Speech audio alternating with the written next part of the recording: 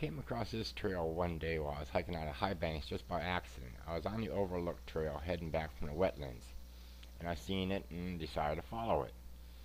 And I will share with you what the naturalists told me about this trail. Um, but before I go into that, I'll tell you how you can find it. Um, since I don't remember exactly where I found it on the Overlook Trail, I'll tell you where to find it at the other end where I came out.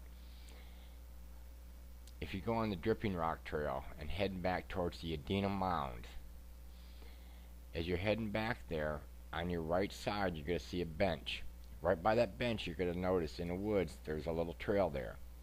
It might be overgrown a little bit, but you can still see it. Go in from there, and that will take you, as you follow that, that will take you over to the um, Overlook Trail.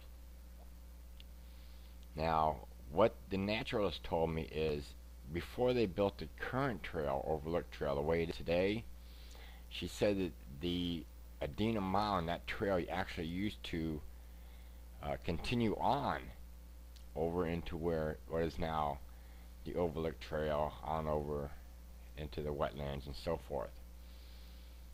So it, it's pretty cool. I mean, it's still passable. It's not maintained, so it's a little overgrown. You will do a couple bridge crossings.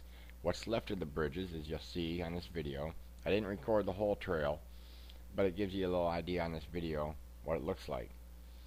Uh, there's actually a bench out there still too, which is pretty good shape compared to the actual bridges.